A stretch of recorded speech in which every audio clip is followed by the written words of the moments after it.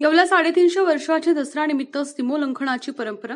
गेल्या साडेतीनशे वर्षापासून येवला शहरात दसऱ्यानिमित्त सीमोल्लंघन खेळण्याची परंपरा आजही अखंडितपणे सुरू आहे. नऊ दिवसांपासून खरोखरी घटस्थापना करण्यात आली होती. दसऱ्याच्या दिवशी नऊ दिवस पूजन केलेल्या घटांचं विसर्जन केल्यानंतर येवला शहरातील गंगा दरवाजा भागात असलेल्या मंदिरांमध्ये नागरिकांनी दर्शन घेऊन आपट्याचं पान खरेदी मोठ्या प्रमाणात येवला शहरवासियांनी सीमोल्लंघन खेळण्याचा आनंद घेतलाय. यावर्षी शहरातील गंगा दरवाजा येथे हजारो नागरिकांनी एकत्र येत सामुदायिक सीमोल्लंघन केलंय. कालीमातेने नऊ दिवस युद्ध करून महिषासुराचा वध केला.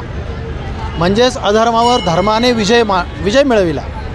प्रभू श्री रामचंद्रांनीही रावणाचा वध हा आजच्याच दिवशी केला.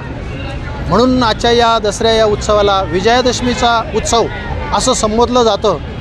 खास करून येवल्याची परंपरा ही आगळी वेगळी आहे. येवल्याच्या स्थापनेलाच साडेतीनशे ते चारशे वर्ष झालीत.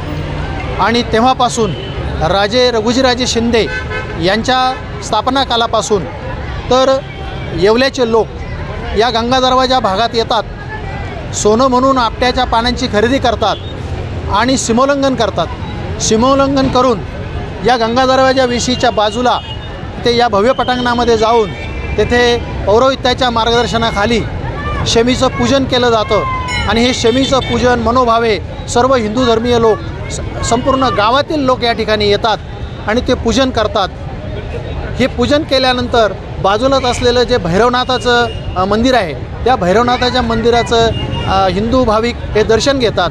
त्यानंतर नऊ दिवस गावामध्ये मिरवला जाणारा बालाजीचा जो रथ आहे त्या रथाचं पूजन बाजूच्या आवारामध्ये तो रथ उभा राहतो आणि त्या बालाजी दैवतेचं दर्शन हा संपूर्ण गाव घेतो.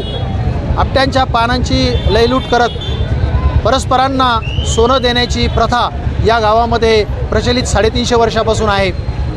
घरोघर युवक मुलं हे जातात आणि वयोवृद्धांना सोनं देतात त्यांचं दर्शन घेतात आणि असत्यावर सत्याचा विजय मिळवण्यासाठी या सर्व मार्गदर्शक ज्येष्ठ मंडळींचा आशीर्वाद हे नवयुवक येवल्याचे घेत असतात. अत्यंत धार्मिक अशा परंपरेने हा उत्सव गेली साडेतीनशे वर्ष येवल्यामध्ये साजरा केला जातो. खरोखरच हिंदू धर्मातील सर्व नागरिक मोठ्या संख्येने या उत्साह सोहळ्यात सहभागी होतात सीमोल्लंघन करतात आणि मनमुराद आनंद लुटतात. अशा या येवलेकरां येवलेकर मी असल्याचा मलासुद्धा अभिमान आहे आणि अनेक समाजाचे लोक आपले ग्रुप करून वाजत गाजत या गंगाधरवाच्या वेशीजवळ येतात.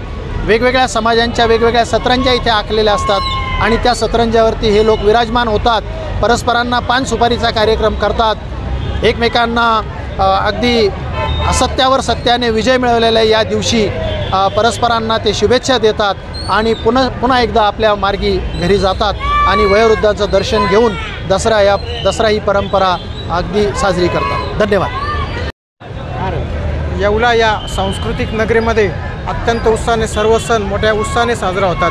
त्याचपैकीच एक असलेला आजचा हा दसरा सण मोठ्या उत्साहाने आज येवलेकर प्रत्येक कुटुंबीय हे आपल्या कुटुंबासह एकत्र लहान आजोबापासून तर नातवापर्यंत सगळे एकत्र या गंगाधराच्या परिसरात येऊन सीमाउल्लंघन करून सोनं लुटून एक आनंद मोठ्या उत्साहानं साजरा करतात. सत्यावर आज सत्यावर मिळवलेल्या या सत्याचा विजयाचा आज जल्लोषात असं स्वागत या येवलेकर मोठ्या आनंदाने भाग घेतात. पुन्हा एकदा सर्वांना